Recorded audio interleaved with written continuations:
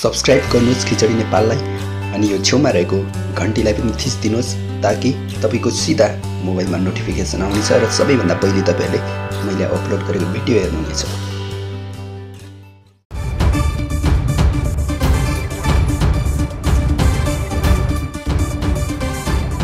नमस्कार खिचडी नेपाल हेरेर बस्नुहुने सम्पूर्ण दर्शक महानुभावहरूमा फेरि पनि तपाईँहरूमा नयाँ नयाँ अपडेटहरू लिएर उपस्थित भइसकेका छौँ।